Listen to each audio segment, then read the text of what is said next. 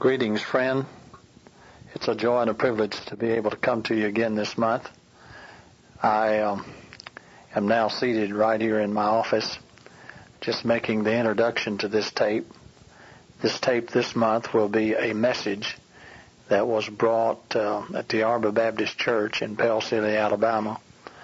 A message that uh, you possibly have heard me preach before.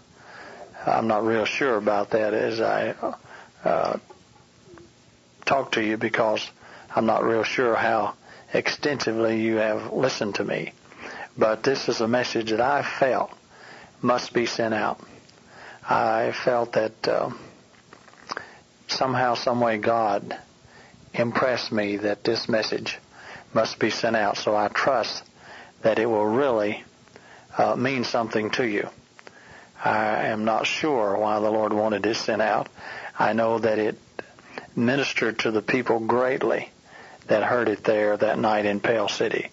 And many, many people responded to the uh, decision time at uh, this meeting when this message was preached. Well, I praise the Lord for the opportunity to come and share with you from time to time. I don't know what the message last month meant to you, but a great number of people have responded by calling or writing and telling me what the message last month really meant to them. I trust that it meant a lot to you, possibly unless you were somewhat passive and and not been caught up in the grip of passivity. The message did not mean as much to you, but nevertheless, it did mean a great deal to so many people. It certainly met a need in my own life, and and I trust that uh, if it did not mean much to you as you listened to it last, that one day when you have need of it, you'll have the tape around, and that it will mean a great deal to you then. I promised you last month that I was going to talk to you about the building here in Euless. I have really believed God that God will raise up a building for evangelists to be housed in where we can uh, go out and come in and make use of the facilities on a very economic basis as well as make use of the equipment in the facility. And uh, this is also beautiful. And the interest for such a building is more exciting right now uh, than it's ever been but we have hit a snag. You uh, may recall, you may not recall, I'm not sure about that, but back when I first uh, got the vision of the building, it was to build a building and allow evangelists to buy their portion as an investment where when they retired or when they passed away, they would have a nice sum to retire on or to give their remaining family. And this was the vision I really had. Well, along came a friend who definitely had some money committed to the Lord, and he felt that this was what the Lord wanted. Well, in the meantime, another friend of that friend, who both being a friend of mine, are friends of mine, felt that this is what we should do. So somehow, some way, we began to work on getting the building uh, with the money on hand. God supernaturally, it seemed, put the money available uh, to do this work. But with this money, it was cutting out the real objective that I, or one of the objectives that I had at first. Well, anyway, these friends have come to the conclusion that God is um, not leading in this direction. So uh, naturally, uh, the money has with situation has been uh, not withdrawn, but put on hold. And one of the friends uh, is moving from this area back to Oklahoma City. But this does not change the fact that we're going to build a building. In fact, it looks nearer now than ever.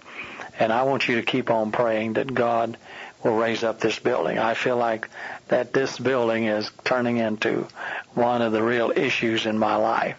As the devil said, I'm going to make a fool out of you and the Lord seemingly indicates, listen, you just keep on believing. I'm going to see you through, and I'm going to deliver you, and I'm going to bring you in. So you may just want to sit by and watch the battle, or you may want to get in the battle with me by prayer and really seek the face of God. And it may be that some of you that's listening to this tape are supposed to have some part in it. And I'm not real sure what that part is, but uh, nevertheless, I believe God will show you. But anyway, that's where the building situation is. I want you to pray earnestly for me.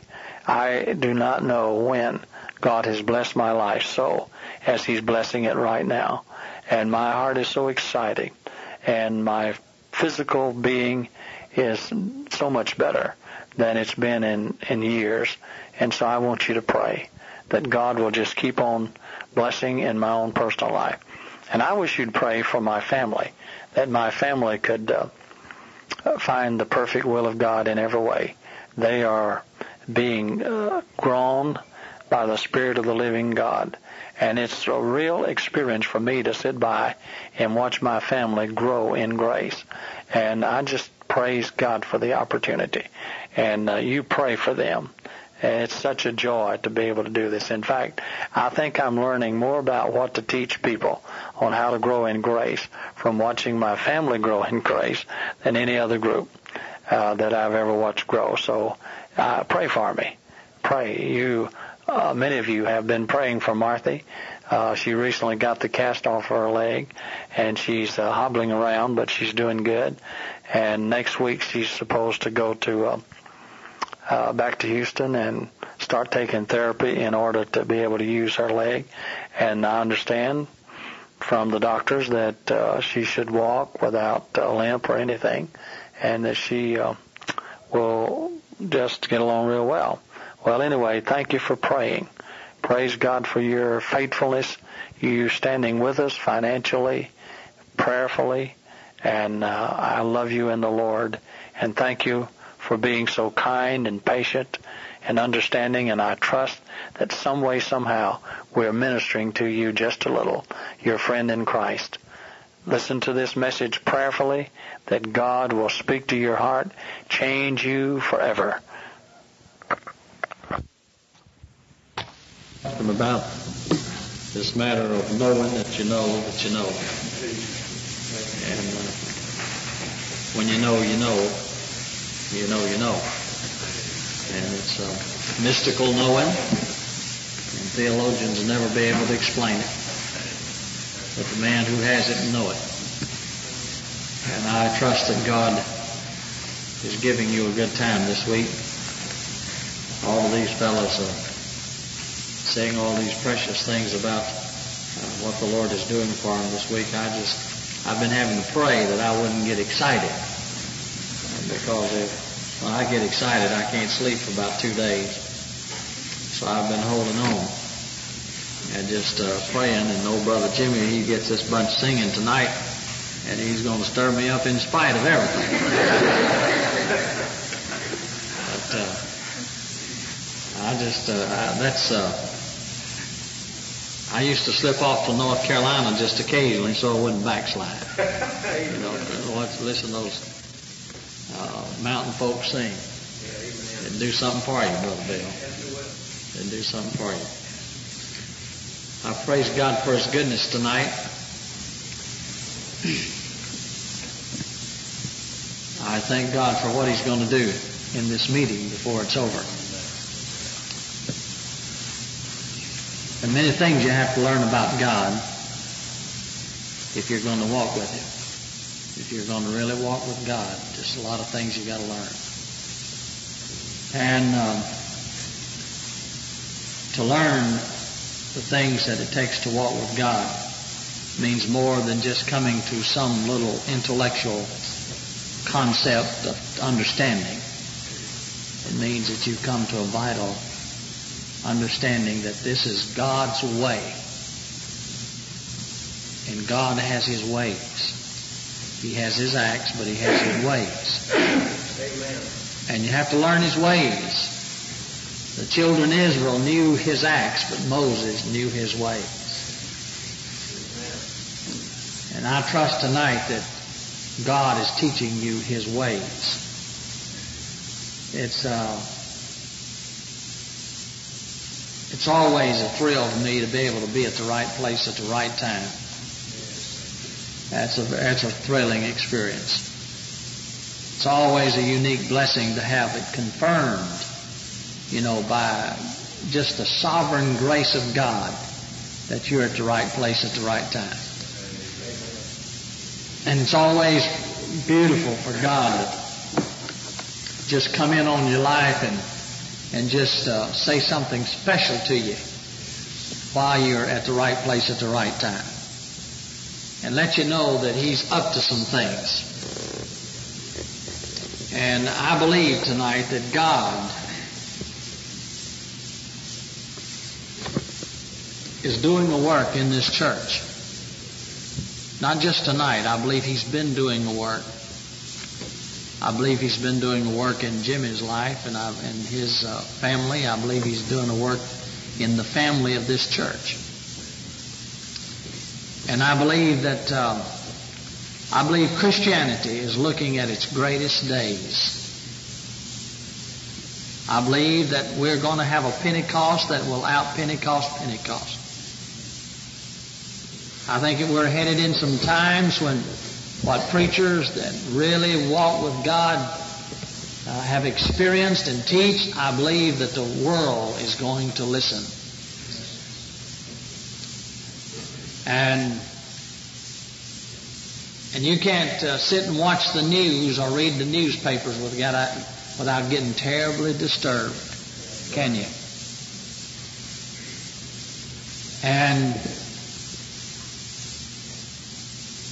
You have to go back to the Word of God to have some real peace. And I believe that there are going to come disturbing times. And I tell you, I believe they're upon us. They're really upon us. Where the men and women who preach and live the Word of God are going to be listened to. About uh, almost 20 years ago now, almost 20 years, maybe about 17, 18 years ago, the Lord uh, began to deal with my heart about learning how to trust Him. And I began to ask God, why did He want me to learn this truth other than just for my own personal benefit?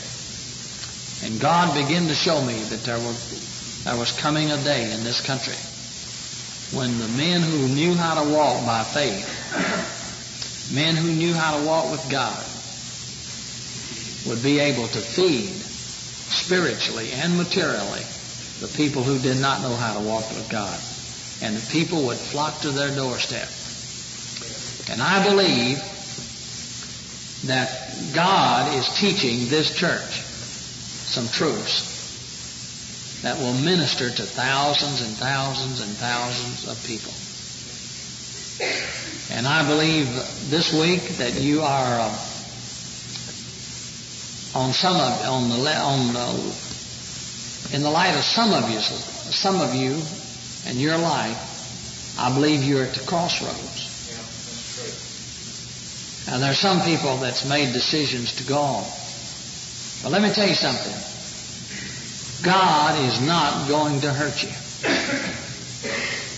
The most painful things that I have ever been through tonight I can honestly say they were the most blessed of my life. God is not going to hurt you. And you can go all the way with God. Friend, you can stake it all on God. There's a lot of things you'll have to learn, which I've already said. And I'm coming back to something that you're going to have to learn.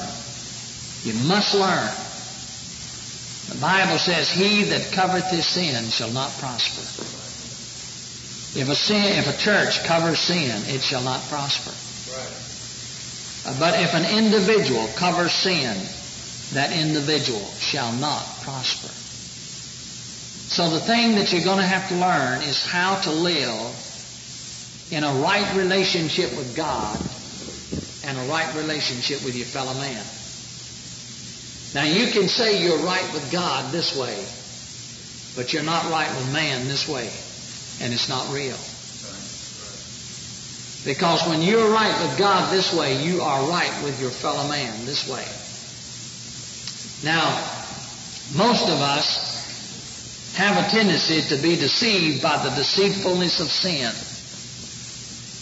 Which means the deceitfulness of sin means that uh, that we have sin in our lives and we think we're right with God.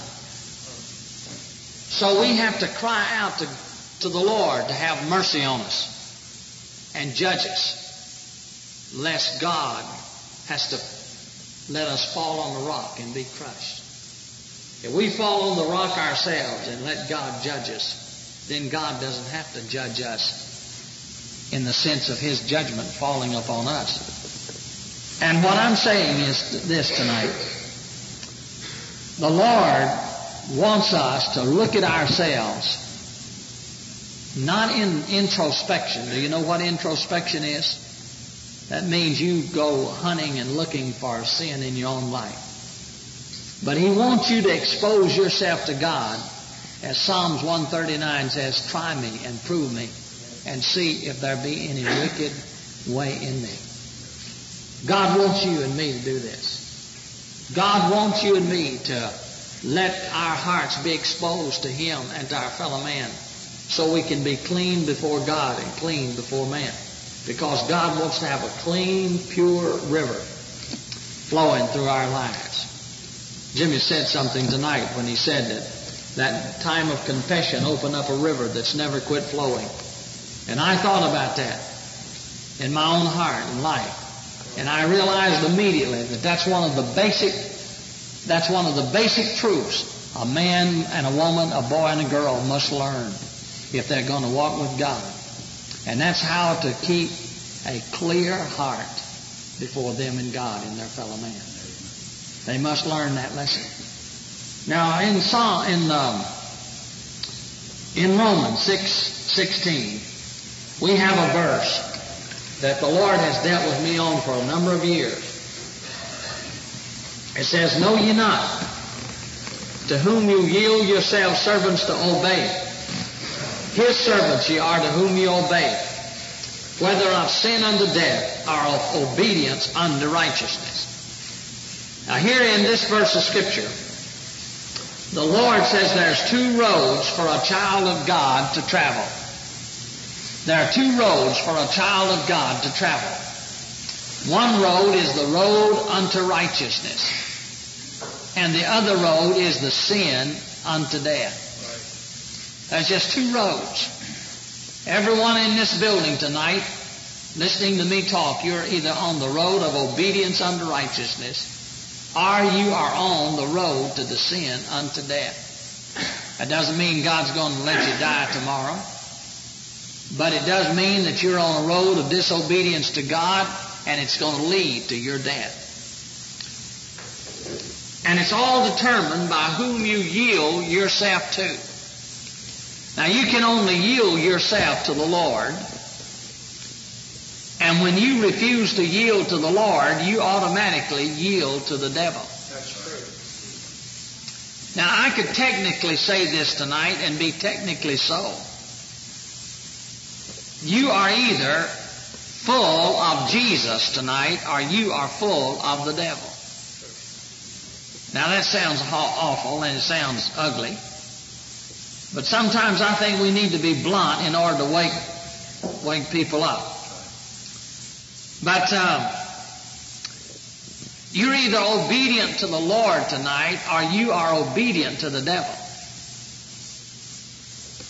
Now, what I mean by that is you're obedient to the Lord and you're on the road of righteousness, or you're obedient to the devil and you are being, you're on the road of uh, the sin unto death.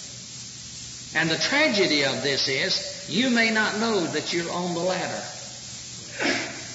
You may think you're all right. I may even think I'm all right.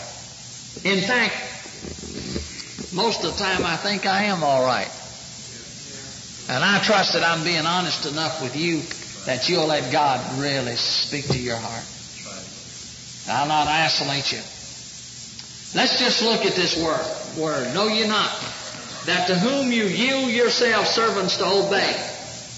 Now watch this. It says, His servants you are to whom you obey.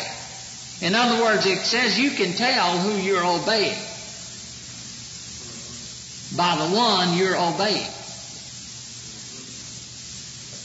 In other words, you're obeying the one that you are yielding to. Boy, that's a tough verse.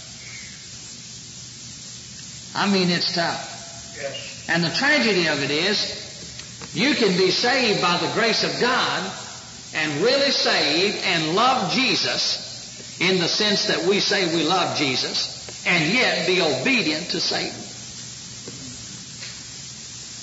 And be on the road to the sin unto death.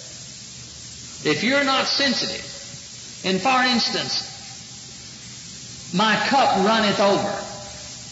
When your cup is not bubbling and running over, it's been, it's because you have been disobedient to the Lord. And you're on the wrong road. Now, in the 17th verse, he gives us the, the key to all of this, and I, I want to read that verse and then move on. But God be thanked that ye were the servants of sin, but ye have obeyed from that heart, from the heart, that form of doctrine which was delivered you. What was he talking about here? You have obeyed from the heart the truth that was delivered you, the doctrine that was delivered you. What is he talking about? Let, watch me just illustrate this. It's so simple, I apologize for it.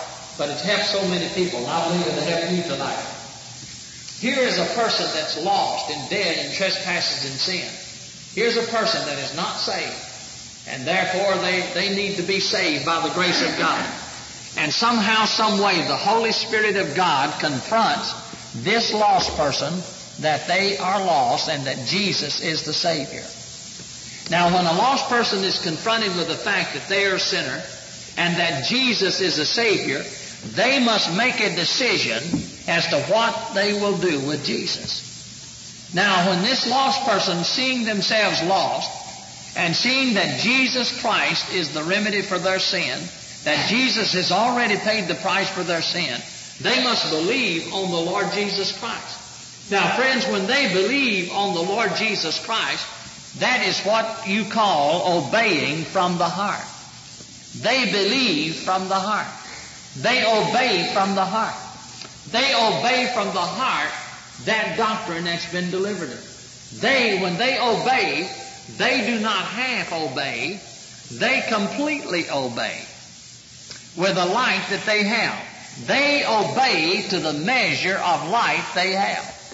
And the measure of light they have, when they obey from the heart, God makes their spirit a new spirit, and His spirit and that man that gets saved, spirit becomes one spirit. And as long as that person is obedient to the light that God has given them, the Holy Spirit has access to that human spirit to flow through that soul and flow through that body and flow into that person's environment and reproduce the life of Jesus Christ. Because that person has obeyed from the heart. And beloved, when that person obeys from the heart, not only is the Holy Spirit able to do a work of regeneration in the life of a lost person, but the Holy Spirit then has access to flood the spirit and flood the soul and flood the body and flood the person's environment. Now let's watch this person grow in grace. Let's just watch him grow in grace for a little bit. The average church member never takes over two steps of grace in their whole life. Never take over two steps of grace. They get saved, and they get usually victory over stealing the tithe.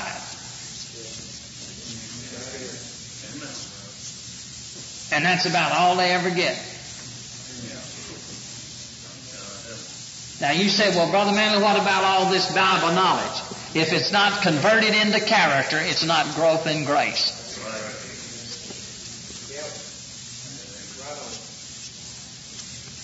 You see, half of your church members never even get victory over smoking or dipping or chewing.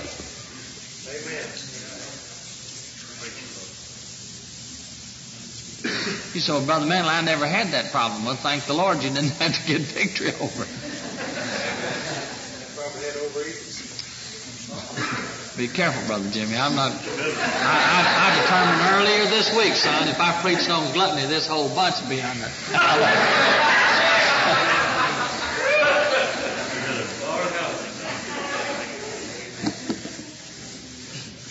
I'll, I, I think I'll probably touch on that before it's over, but. Uh,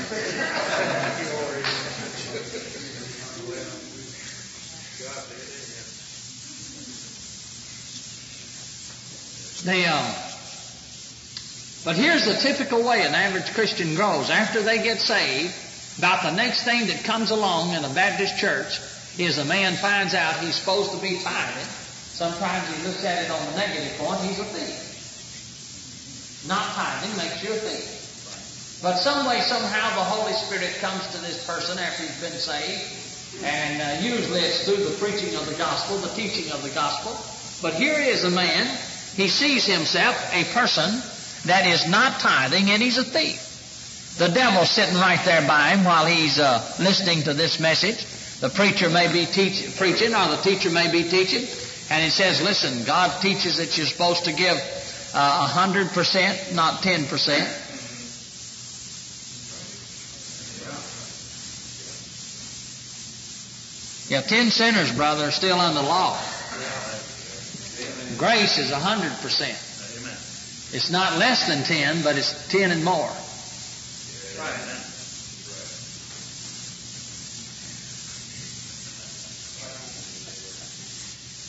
Amen. Yeah, grace will always fulfill law. Yeah, I like that. But friend, it won't stop at law. Amen. That's true. It's all of it, says Lord. And Lord, it's not how much I give, it's how much I keep.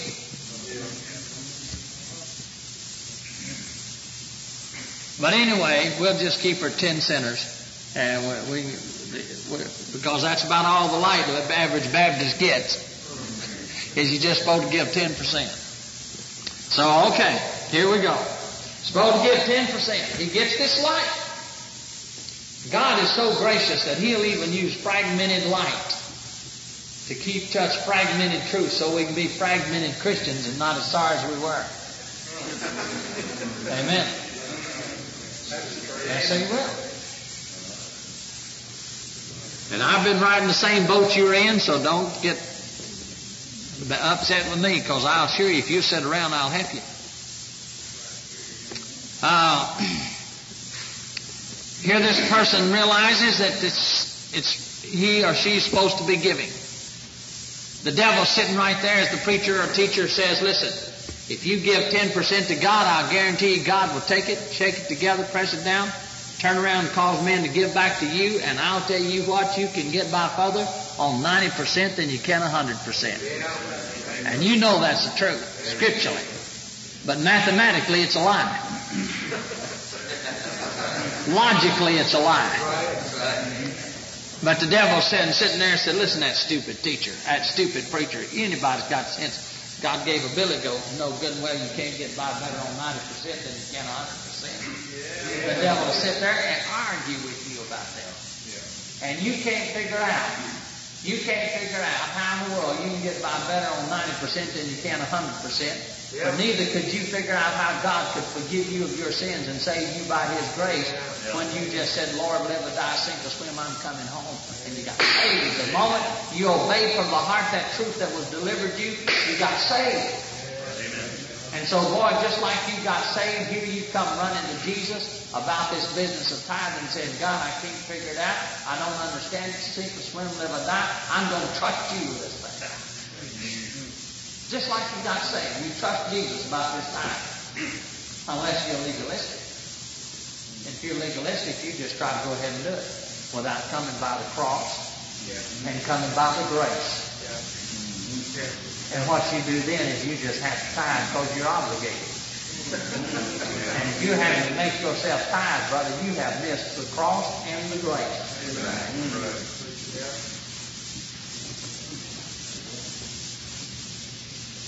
So here, here you come. You've taken two steps of grace now. Amen? Now, but remember, the basis of your grace is light. You've got two phases of light. You've seen the light about your salvation. You've seen the light about your finances. That's all the light you've received. And to the light you've received, you've been obedient from the heart. And as you have been obedient from the heart, you have kept your heart open to God. You have made it possible not only for the Spirit of God to fill you, but flood, just literally overflow your life and reproduce the character of Jesus in you. Even though you're just a little babe.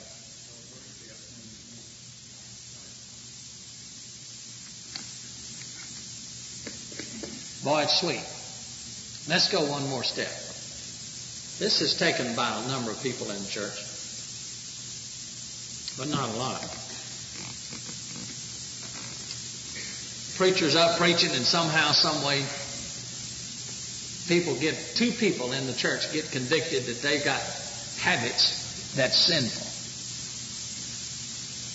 And I'll tell you, you'd have to go a long way to hear a sermon against habits today. But uh, here are these two men. Let's just take two men. They are convicted. Now, regardless of what you think about it, this is an illustration. I always like the way these illustrations fit, you know, but this is an illustration. These two men are convicted that their habit is sinful and they're sinning against God. That they are abusing the temple of God. They're tearing it down. And boy, there's a lot to be said about this. So what are they going to do? One of them says, well, this habit, God didn't give it to me, and what I need to do is I need to try my best to quit it. And Afraid if I go down there and put my cigarettes on the altar, I might go back to them and I will, I will belittle God's tes- testimony and I'll let God down and all this stuff, and he's really concerned about God. What he's really concerned about is himself. But uh, uh, God can handle his end of the testimony. Don't you worry about God. But uh, he says, so what he decides to do, I'm going to quit. And I'm going to take these things home and I'm just going to put them on the shelf over there and, and just not say anything to anybody, not even my wife. And boy, he makes a decision to try his best to quit his cigarettes. Let's just follow him on through. He goes out and gets in the car the next morning with a bunch of men headed to work and they're smoking. And he's got him a Bible in his pocket. So when he reaches for that cigarette, he'll hit that Bible. And it'll remind him, oh Lord, I quit smoking. And man, he wants a cigarette so bad he cannot stand it. Now this man's got real willpower. And I mean, he's determined, and I want you to know, friends, he buys him a carton of gum, not a package, a carton of gum. He chews that gum. He hits that pocket. I mean, he does everything he knows he can do, and he just stays off of them, and he starts getting fat and fatter and fatter and fatter. And boy, I mean, but he stays quick. And if he's really got determination, he may even whip it. But he still wants one. Now, I want you to know that's religion. That's not Christianity. Now, that person, now I know good and well that, that people have battles with these things. Amen. And it's not I, I'm not being ugly about it. I, I believe I've got mercy on the person that's battling with issues like this. So here comes this other fellow. He says, God didn't give me these things, and I can't handle them and I like them, and I know it's wrong. I've seen tonight it's wrong, and I detest myself for using. And God, I'll tell you what, I can't handle this problem. Sink, swim, live, or die. I'm coming to you, and I'll smoke enough before I get out of the church if you don't do a work of praise. So he obeys from the heart that truth that's been delivered. He's come to the cross, and he's come to the grace. And he falls at the mercy of Jesus, just like he got saved. Colossians 2 6 says, As you receive Jesus Christ, your Lord, so walk you in. Just like you got saved by grace through faith. Just keep walking on the same principle. Bang, bang. Just the same way. And boy, you know what? He goes outside that church, goes home, gets out and gets in the car with a bunch of men smoking the next morning, and I've got news for you. He does not even want a cigarette. Now the devil tempts him, but the temptation is from outside, not inside. Now that's victory. Amen. Now the devil tempts him, but it's not it's not the nature of lust coming out of him now. Now this man, the last man we talked about, has taken three steps of grace, and as far as the light that he's received, you know what? He is full of Jesus. Now the man that tried to quit smoking himself did not dislike Jesus. He did not even dislove Jesus. He did not turn his, he did not reject Jesus as just rejected. He decided he was going to try his best, and he pursued Jesus. And got to operating on the energy of the flesh. Now that man shut the door where the Spirit of God could no longer work through his spirit into his soul and into his body and into his environment. And you know what happens? That man now releases the flesh. And the flesh or the world or even Satan, either way, just the devil is in charge of his life. And you know how long the devil is in charge of his life? Till he comes right back to the point he rejected. Or, or not rejected, where he refused to let Jesus have it. And if he goes down the road 30 years, he'll never grow any more in grace. He'll grow in knowledge. He'll know there's 66 books in the Bible. He'll know this and that and the other. He'll know all this about God. But he will not know God.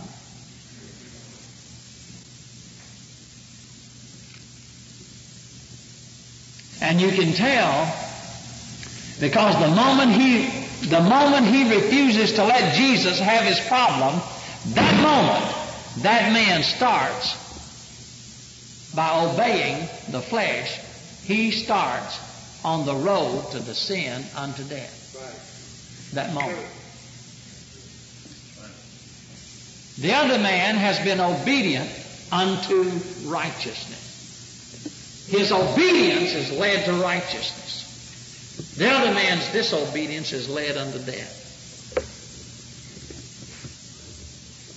You always tell whether or not the flesh is in charge of your life by whether or not you sin and wish you hadn't.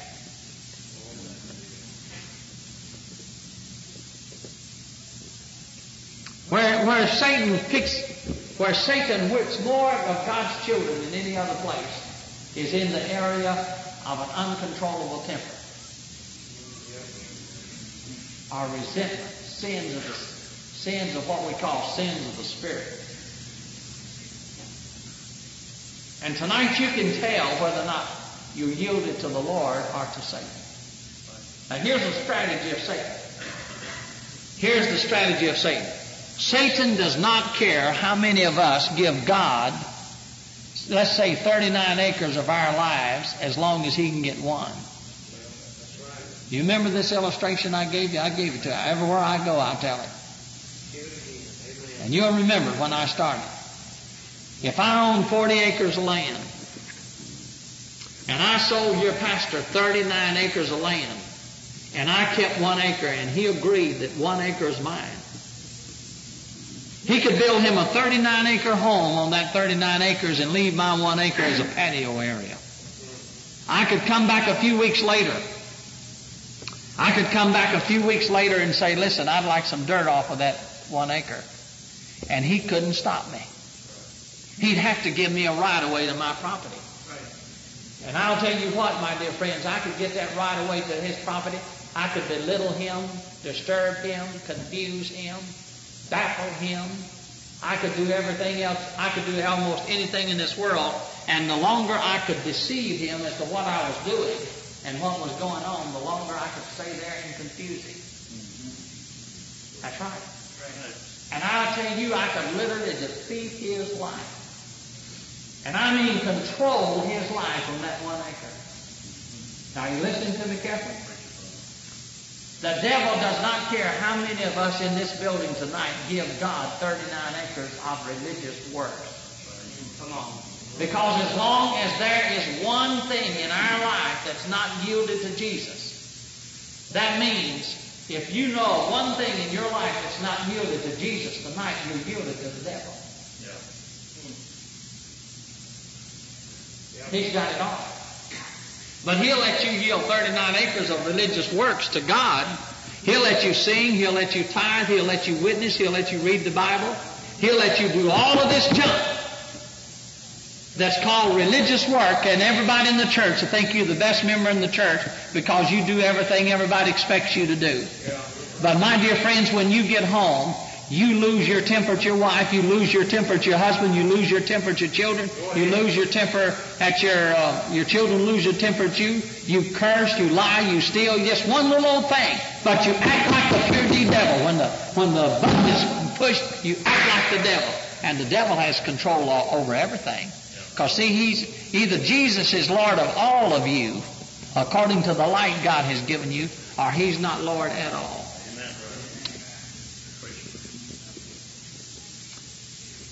And what the devil will do, he'll hide his identity and let you have 39 acres of religious works where everybody in the world will think that you are hot stuff. And then when he gets ready to use you, you know what he'll do? He's got that one acre in there, so he just slips in and causes you to act like the devil right in front of your friends. Embarrass you, abuse you, belittle you, just literally, literally destroy you. I know of a woman back in Texas that criticized her pastor. Now, her pastor did a wicked thing, but she had no business doing what she did. She criticized it. And rather than get right with Jesus about it, she moved her letter. And she came to this church, and she and her husband were very wealthy people. And they were very strong leaders, so they started pouring several hundred dollars a week into this little church and started teaching. It wasn't long until he was Sunday school superintendent and a deacon in that church, and she was the latest, ladies teacher. And boy, they were they were leaders, and rightly so. They were educated people. You know, they've been in leadership. They were leaders, and uh, and I remember that pastor just kept preaching the cross. Jesus is either Lord of all or He's not Lord at all. He's Lord of all and He's not Lord at all. And one day, you know what happened? This very culture woman got up and cursed right in the church. And when she did it, she was so embarrassed, but it was too late. It was out. And they said, oh, my, she got full of the devil today. No, she got full of the devil back then mm-hmm. when she criticized that preacher and didn't give out of God. And she was full of the devil all that time. But the devil let her have 39 acres of religious work, see.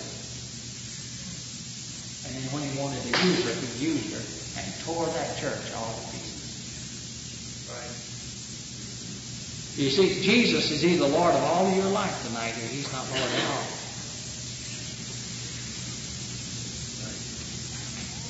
He is either Lord of all of your life tonight or he's not Lord at all.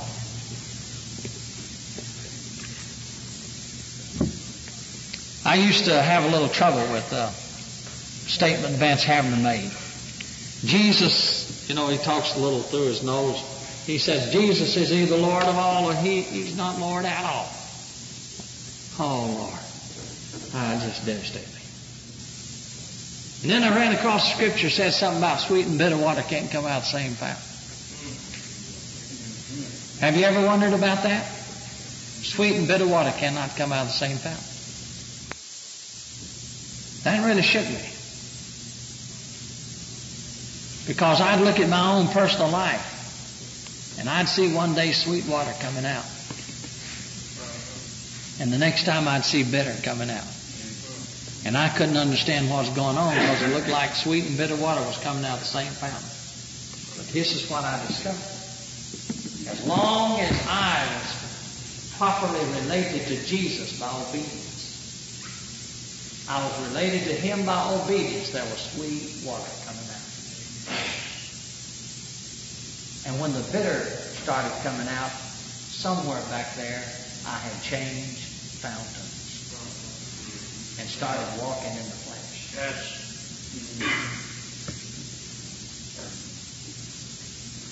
If I had a lemon tonight and gave it to you to squeeze, what do you think you'd get out of it? The, uh, the absolute answer, the answer that is an absolute is what's in it. That's it. That's it. And tonight, God allows us to be placed in predicaments and squeezed so we'll see what's in us. And what's in us come out. And I've got news for you. If you're obedient to the light that God has given you, Jesus is going to come out. But if you've been disobedient to the light, Jesus is not coming out. You'll act like the devil. Now, in order to get right with Jesus, you know what you have to do? You have to confess your sins up to date. You have to go back to that point of controversy. You have to ask God, Lord, where have I been disobedient to you? And get right with Jesus. You have to get your obedience up to date.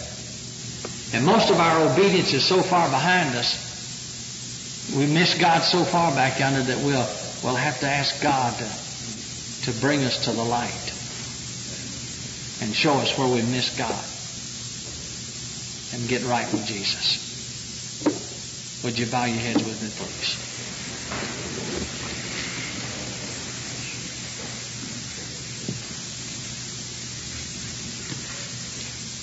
If God has dealt with your heart tonight and you can't handle it, I want you to know Jesus can. And at the cross, He can handle it. And your honesty is at stake. And you want to do something about it, all I can do is invite you to the cross where you first saw the light, just like you got saved.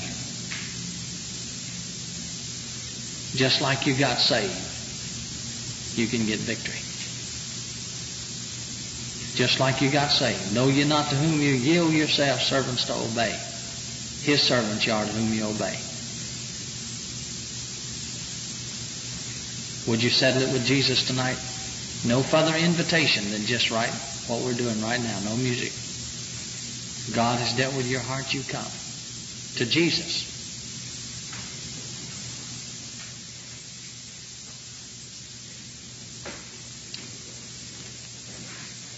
You, you have to get to Jesus yourself. I can't get there for you. You know whether or not God's dealt with your heart, so you let Him have His way with you.